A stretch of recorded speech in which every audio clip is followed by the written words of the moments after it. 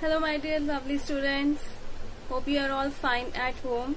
I'm Aanchal Tiku, your art teacher and today we will do some craft with paper. So let's start the work.